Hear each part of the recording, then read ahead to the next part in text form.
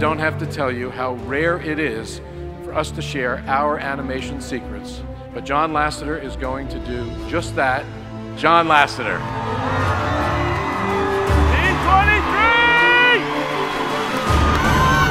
I love D23 because I love the fans of, of Disney because I'm one of them. Bill Hader!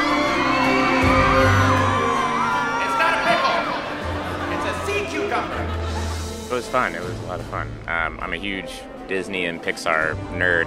John Ratzenberger came out, and I, I bow to him.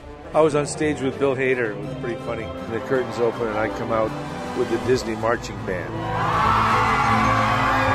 Christina Hendricks and Tom Hiddleston.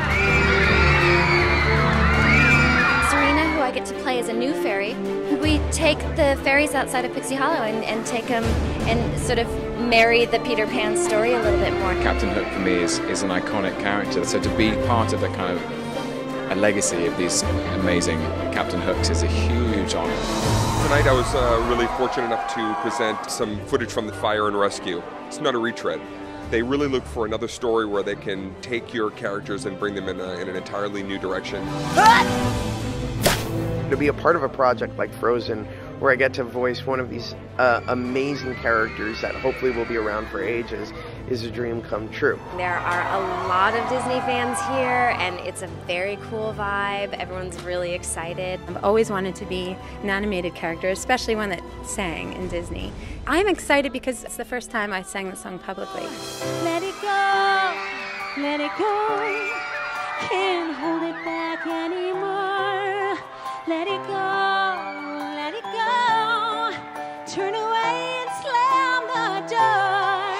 They show sizzle reel to kick off the to kick off the panel of all the great Disney product, of which now Marvel is a, is a big part. And I love that when Thor pops up, when Cap pops up, the crowd that the roar gets even louder. Natalie Portman. It's really fun being in a room and showing the first footage to a crowd of such positive, enthusiastic people. This is the second Thor. This morning at the convention center I was taken aback by the furor of the audience. It's exciting, you know. It's it's people really wanting to see what we've worked on, and that's rewarding.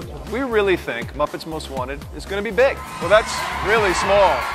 Ladies and gentlemen, one of the stars of our film, the incomparable Ty Burrell.